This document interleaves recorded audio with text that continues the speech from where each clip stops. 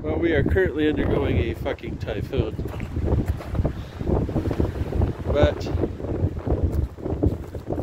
I've created my own private personal sprinkler system. Remember how this thing just spits water everywhere? Well, I got six plants and two trees that are going to benefit from that.